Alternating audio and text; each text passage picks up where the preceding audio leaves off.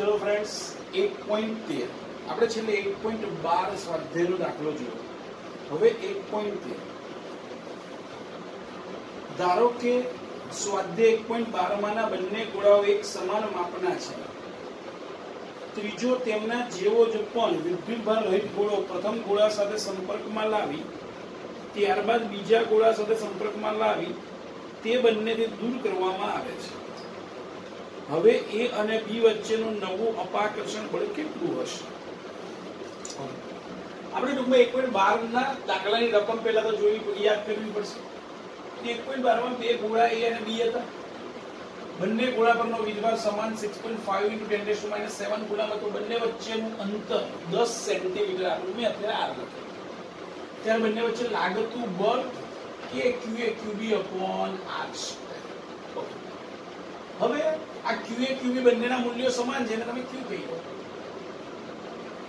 એટલે તમે અહીંયા કહી શકો કે Q square by R okay હવે શું કહે ત્રીજો, એના જેવો જ ગોળો એટલે કે એ અને બી જેટલું જ પરિમાણ ધરાવતો ત્રીજો સી એ ગોળા એના સંપર્કમાં સૌપ્રથમ, બે માંથી ગમે તે એક, ધારી કે ગોળા એના સંપર્કમાં સૌપ્રથમ લાવ્યા.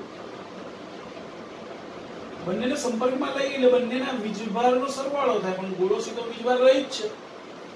માટે q વત્તા જીરો કેમ? ગોળા એનો વીજભાર q એટલે કે q. અને આ c જીરો. માટે ટોટલ વીજભાર હવે બંનેને છૂટા પાડીએ એટલે બંનેમાં સમાન ભાગે વીજભાર વહેંચે એટલે q1 2 q બાય હવે આ ગોળા c ને ગોળા b ના સંપર્કમાં લાવવામાં આવે છે. તો ગોળા b નો વીજભાર q છે જ. અને હવે c નો વીજભાર એ q 2 છે. ટોટલ વીજભાર બંનેનો સરવાળો છે q 2 બંનેને છૂટા પાડો. એટલે બંનેમાં વીજભાર સરખે ભાગે વહેંચાય 3q 4 3q 4 બે સરખા ભાગ પાડે ધેટ મીન્સ હવે આ ગોળા a અને ગોળા b ને ફરીથી r જેટલા અંતરે જ મૂકવાની વાત છે. હવે ગોળા a અને ગોળા ફરીથી આ અંતરે મૂકીએ છીએ. એ પરનો વિભાર હવે ક્યુએ ડેશ. બી પરનો વિભાર હવે ક્યુબી ડેશ. ભાઈ, તો નવું બળ કેટલું લાગશે? તમે જોઈ શકો છો એફ ડેશ ઇઝ ઇક્વલ ચલે છે. Q A dash into Q B dash. R ની જરૂર નથી કેમ? બંનેમાં આર તો સમાન જ હતા, એટલે આર આપણે રાખતા નથી. ઓકે. ડેશ ચલે છે qa ડેશ qb ડેશ અને f ચલે છે qa qb બંને ગુણોત્તર લઈ લીધો, f ડેશ બાય f. તો qa ડેશ ભાગ્યા qb qa ડેશ એટલે q બાય 2 qb ડેશ એટલે 3q બાય 4 અને qa qb એટલે કે q square that means q q ઉડી ગયા, q સ્ક્વેર ઉડી ગયા, તો શું 3 બાય f ને છેદમાંથી આ તરફ લઈ ગયું ડેશ બરોબર? 3 બાય 8 એટલે બળ હવે થઈ ગયું પહેલા બળ એટલે કે 12મા દાખલામાં જે હતું, એના કરતા 3 બાય 8 આ તો આપણો સ્વાધ્યાયનો એક પોઈન્ટ સ્વાધ્યાયનો એક પોઈન્ટ છે. આપણે રકમ આવી આપી છે કે સમાન વિદ્યુત ક્ષેત્રમાં ત્રણ કણો ગતિ કરી રહ્યા છે. આ સમાન વિદ્યુત ક્ષેત્રમાં ત્રણ કણ એક, બે અને ત્રણ દાખલ થાય છે. તો આ કણના વીજભારના પ્રકાર જણાવો, એટલે કે ધન છે કે ઋણ. અને નંબર બે કોનું વિચલન સૌથી વધારે થયેલું છે? આવો પ્રશ્ન છે. ભાઈ સ્પષ્ટ છે કે કણ એક અને બે એ ધન વિદ્યુત ભારિત પ્લેટની દિશા તરફ ગતિ કરી છે. આપણે જાણીએ છીએ ધન વીજભાર તરફ ઋણ વીજભાર ગતિ કરે. માટે આપણે સ્પષ્ટતા કરીએ કે કણ એક અને બે ધન વિદ્યુત ભારિત પ્લેટ તરફ ગતિ કરે છે, તેથી તે ઋણ વિદ્યુત ભારિત કણ હોવા જોઈએ. જ્યારે કણ ત્રણ જોઈ શકાય છે, ઋણ વિદ્યુત ભારિત પ્લેટ તરફ ગતિ કરે છે. માટે તે ધન વિદ્યુત ભારિત હોવો જોઈએ. ઓકે, એટલે કે કણ એક અને બે એ ઋણ વિદ્યુત ભારિત, કણ ત્રણ ધન હવે કોણું વિચલન તો સ્પષ્ટ દેખાય છે કે કણ ત્રણનું વિચલન સૌથી વધારે થયેલું છે. હવે જેનું વિચલન વધારે થાય, તે દળમાં હલકો હોવો જોઈએ. માટે આ ત્રણેય કણોમાં સૌથી વધારે હલકો કણ એ કણ ત્રણ હોવો જોઈએ. અથવા તો ઈ બાય નો ગુણોત્તર એનો મહત્તમ હોવો કેમ? કારણ કે એનું વિચલન સૌથી વધારે આ તો એક પોઈન્ટ ચૌદ. ચલો એક પોઈન્ટ પંદર. આપણને એવું કીધેલું છે કે આ વિદ્યુત ક્ષેત્ર three into ten days to three I cap newton per coulomb એટલે કે ધન એક્સેસની દિશામાં એક વિદ્યુત ક્ષેત્ર હવે વાયઝેડ સમતલમાં એક દસ સેન્ટીમીટર બાજુ વાળો ચોરસ મૂકેલો છે. તો તેની સાથે સંકળાયેલું ફ્લક્સ કેટલો? આવો પહેલો પ્રશ્ન છે. તો પહેલા તો વાયઝેડ સમતલને સમાંતર રહેલ દસ સેન્ટીમીટર બાજુવાળા ચોરસનું ક્ષેત્રફળ થાય શું? તો ડેલ્ટા ઇઝ ઇક્વલ ટુ ચોરસનું ક્ષેત્રફળ એટલે દસ સેન્ટીમીટર નો સ્ક્વેર વાયઝેડ સમતલમાં છે એટલે એના ક્ષેત્રફળની દિશા, એના સમતલને લંબ એટલે કે x અક્ષની દિશામાં માટે આવી હવે દસ સેન્ટીમીટર એટલે દસની માઇનસ એક મીટર, એનો વર્ગ એટલે દસની માઇનસ બે. આઈ કેપ મીટર તો આ ચોરસ સાથે સંકળાયેલું ફ્લક્સ, આપણને સૂત્ર ખબર છે E dot delta S E ત્રણ ગુણ્યા દસની ત્રણ આઈ કેપ. ગુણ્યા ડેલ્ટા એસ દસની માઇનસ બે આઈ બે એ ડોટ છે, એટલે રિયલમાં આપણે અહીંયા ડોટ લખીશું. હવે આપણે જાણીએ છીએ આઈ ડોટ આઈ એટલે વન. તો રહ્યું શું? ત્રણ ગુણ્યા દસની ત્રણ અને દસની માઇનસ બે એટલે 10 3 ગુણ્યા દસ એટલે 30 એનો એકમ લખી નાખ્યો, મીટર મીટર, સ્ક્વેર, પર ઓકે. બીજો પ્રશ્ન એવો કીધેલો હતો કે જો આ ચોરસના સમતલને દોરેલા લંબ અક્ષ સાથે 60 અંશનો કોણ બનાવે છે? આ અક્ષની દિશા છે, એની સાથે 60 અંશનો ખૂણો હોય તો. હવે જોઈ શકાય છે કે ક્ષેત્રફળ સદિશ અને આ અક્ષ બંને વચ્ચેનો ખૂણો 60 આપણને એ પણ ખબર છે કે વિદ્યુત ક્ષેત્ર x અક્ષની દિશામાં છે, એટલે મેં અહીંયા વિદ્યુત ક્ષેત્ર દર્શાવેલું છે. તમે અહીંયા આમ બતાવી શકો અક્ષ બંને વચ્ચેનો ખૂણો 60 છે. તો જ્યારે ખૂણો ખબર હોય ત્યારે ડોટ પ્રોડક્ટની જગ્યાએ સૂત્ર લઈ લઈશું E delta S cos theta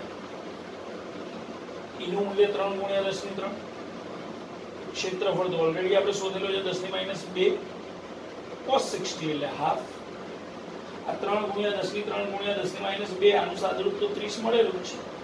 અને આ cos 60 એટલે હાફ ઇઝ પર ન્યૂટન મીટર સ્ક્વેર પર આ થઈ ગયા. 1.13 1.14 1.15 જો.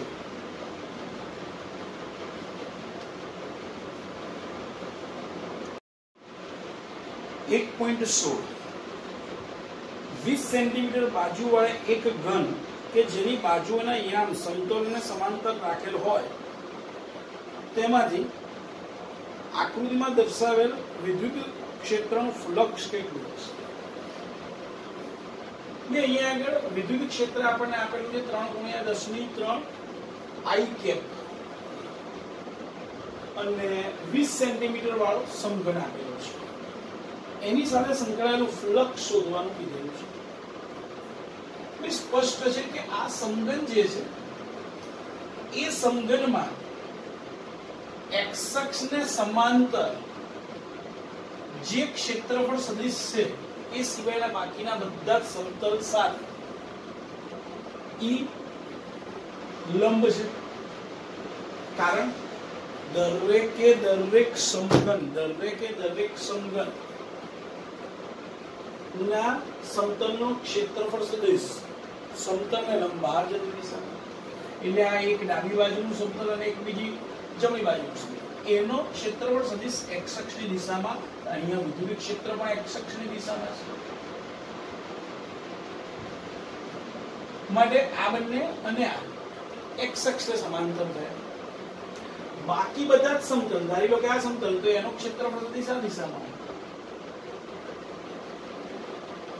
જે ઈને લંબ થશે x અક્ષને લંબ આનો ક્ષેત્રફળ સદિશ એ પણ આ સમતલને લંબ આ દિશામાં. એટલે x આ બે સમતલ સિવાયના બાકી બધા ચારે ચાર સમતલ ના ક્ષેત્રફળ સદિશો E સાથે લંબ છે હવે ફ્લક્સનું સૂત્ર આપણને ખબર છે phi is equal to E delta S cos theta હવે લંબ છે માટે theta pi by two cos pi by two zero એટલે સંકળાયેલું ફ્લક્સ જીરો એટલે મેં અહીં લખ્યું છે. સંકળાયેલું ફ્લક્સ એટલે રહ્યા માત્ર આ બે સમતલ સાથે સંકળાયેલા ફ્લક્સ પહેલા ડાબી બાજુ અને પછી જમણી બાજુ. ના ક્ષેત્રફળનું મૂલ્ય હોય કેટલું તો કે ક્ષેત્રફળનું મૂલ્ય એટલે લંબાઈનો વર્ગ, સમતલ ચોરસ છે તો 20 સેન્ટીમીટર નો વર્ગ એટલે 4 ગુણ્યા 10 ની માઇનસ 2 મીટર સ્ક્વેર. હવે ડાબી બાજુ સાથે સંકળાયેલું flux E delta S cos theta લખો અથવા તો E ડોટ ડેલ્ટા S પણ લખીશ. મેં લખ્યું E 3 ગુણ્યા 10 ની 3 આવી ગયા. ડોટ. ડેલ્ટા એસ એ 4 ગુણ્યા 10 ની માઇનસ 2 ક્ષેત્રફળ તો શોધેલ દિશા. જોઈ શકાય ઋણ x અક્ષની દિશામાં ધન x અક્ષ આ તરફ છે ને? સમાંતર પણ વિરુદ્ધ દિશા છે, એટલે ઋણ x અક્ષ એટલે માઇનસ આઈ ડોટ, આઈ એટલે તો 1 આ માઇનસ ને મેં આગળ લીધા. 4 તરી 12 અને આ 10 ની 3 અને 10 ની માઇનસ 2 એટલે 10 ની માઇનસ 10 ની પ્લસ 1 એટલે કે minus 120 newton metre square per coulomb સમીકરણ. એવી જ જમણી બાજુ. સેમ ચર્ચા. ઈ તો ત્રણ ગુણ્યા દસની ત્રણ આવી છે. Delta S R. ચાર ગુણ્યા દસ માઇનસ બે. કઈ દિશા ધન એક્સ અક્ષ એટલે આઈ કે? પ્લસ આઈ સેમ ચર્ચા મૂલ્ય એકસો વીસ. I dot i one newton metre square માટે આ સંગઠન સાથે સંકળાયેલું કુલ ફ્લક્સ ફાયલ પ્લસ ફાયર. બાકી બધી સપાટી સાથે સંકળાયેલું ફ્લક્સ ઝીરો છે. માટે માઇનસ એકસો વીસ વત્તા એકસો વીસ બરોબર છે. આ તો ઉદાહરણ એક સોરી સ્વાધ્યાયનું એક પોઈન્ટ ભાઈ, તમારે બીજી રીતે આ નોંધ પણ યાદ રાખવાની છે કે સમાન વિદ્યુત ક્ષેત્રમાં કોઈ પણ બંધ પૃષ્ઠ આપેલું હોય તો તેની સાથે સંકળાયેલું ફ્લક્સ હંમેશા જીરો હોય. તો આ વિદ્યુત ક્ષેત્ર સમાન છે. આ સંકલન બંધ પૃષ્ઠ છે. માટે સંકલન અને સંકળાયેલું ફ્લક્સ જીરો ક્લિયર ચલો, એના પછીનો દાખલો જોઈએ. એક પોઈન્ટ સત્તર. એક બ્લેક બોક્સની સપાટી આગળના વિદ્યુત ક્ષેત્રની કાળજીપૂર્વક માપણી દર્શાવે છે કે બોક્સની સપાટીમાંથી બહાર તરફનું કુલ ફ્લક્સ આઠ ગુણ્યા દસની ત્રણ newton metre square per coulomb છે તો પહેલો પ્રશ્ન બોક્સની અંદરનો કુલ વિદ્યુતભાર કેટલો હશે? ઓકે અને બીજો પ્રશ્ન જો બોક્સની સપાટીમાંથી બહારની તરફનું કુલ ફ્લક્સ શૂન્ય હોય તો તમે એવો નિષ્કર્ષ તારવી શકતા હો કે બોક્સમાં કોઈ વિદ્યુતભાર નથી. આવું હોય તો કેમ અથવા ન હોય તો પણ કેમ? વિચાર. પેલા તો બોસનો નિયમ શું કહે છે? Phi is equal to q by epsilon મને ઘેરાયેલો વીજભાર ક્યુ એટલે કે બોક્સની અંદરનો વીજભાર બરોબર ફાઈ એપ્સાઇલોન છે ફાઈ ની કિંમત આપેલી છે આઠ ગુણ્યા દસની. એપ્સાઇલોન જીરો તો ચણાંક છે. જેનું મૂલ્ય આપણને ખબર છે eight point eight five into ten to minus twelve સાદુરૂપ આપીએ છીએ તો seven point zero eight into ten to minus eight cool okay પહેલો જવાબ તો મળી હવે બીજો પ્રશ્ન શું કીધેલો છે? કે બોક્સ સાથે સંકળાયેલું કુલ ફ્લક્સ શૂન્ય હોય તો શું ઘેરાયેલ? એટલે કે બોક્સની અંદરના ભાગમાં વીજભાર શૂન્ય હશે? વીજ, કુલ વીજભાર શૂન્ય હશે એ તો નક્કી છે. પણ શું અંદર વીજભાર શૂન્ય હશે એટલે કે વીજભાર હશે કે નહીં હોય? તો કે એવું કહી ના શકું. વીજભાર ના પણ હોય અથવા જેટલો ધન વીજભાર છે, એટલો જ ઋણ વીજભાર હોય. તો પણ કુલ વીજભાર જીરો થઈ શકે. બોલો ક્લિયર આ તો આપણો ઉદાહરણ સ્વાધ્યાયનો એક પોઈન્ટ હવે સ્વાધ્યાયનો એક પોઈન્ટ અઢાર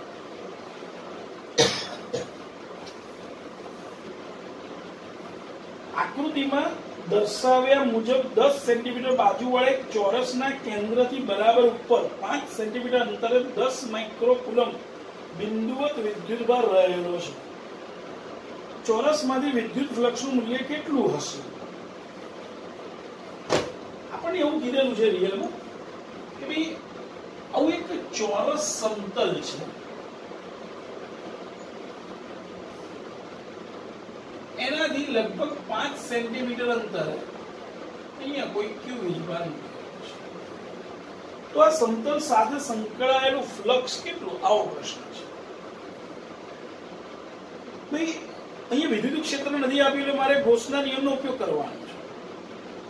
ગોસના નિયમનો ઉપયોગ કરવો એટલે બંધ પૃષ્ઠ હોવું જોઈએ એટલે કે ગોસિયન પૃષ્ઠ હોવું જોઈએ. એટલે આપણે શું કરીએ? એક દસ સેન્ટીમીટર બાજુવાળો એક સમઘનનો વિચાર કરી લઈએ. અને આ સમઘનના કેન્દ્ર પર, એટલે સપાટીથી પાંચ સેન્ટીમીટર અંતર થઈ ગયું, કારણ કે સમઘનની દરેક બાજુ દસ સેન્ટીમીટરની છે તેના કેન્દ્ર પર દસ માઇક્રોકોન વિદ્યુત છે. વિચાર તો હવે આ સમઘન સાથે સંકળાયેલું ફ્લક્સ બોસના નિયમ પ્રમાણે q બાય એપ્સિલોન જી ક્યુની કિંમત કિંમત 10 માઇક્રોકુલમ અને એપ્સિલોન 0 તો અચળાંક છે 8.85 ગુણ્યા 10 ની માઇનસ 12 સાદું રૂપ આપશો તો આ જવાબ આવશે 1.13 ગુણ્યા 10 ની 6 newton metre square per coulomb પણ આપણને કઈ સમઘન સાથે નથી કીધું આપણે તો આ સપાટી સાથે સંકળાયેલું ફ્લક્સ કીધું. તો સમઘનને ટોટલ છ સપાટી છે. એટલે છ સપાટી સાથે સંકળાયેલું ફ્લક્સ ફાઈ છે. તો એની એક જ સપાટી સાથે સંકળાયેલું ફ્લક્સ કેટલું? તો કે કુલ ફ્લક્સ નો છઠ્ઠો ભાગ. એટલે phi days is equal to five by six phi ની કિંમત તો છે એક પોઈન્ટ તેર ગુણ્યા દસની છ ભાગ્યા છે. સાદું એક પોઈન્ટ અઠ્યાસી ગુણ્યા દસની પાંચ ન્યૂટન મીટર સ્ક્વેર આ તો આપણો સ્વાધ્યાયનો એક પોઈન્ટ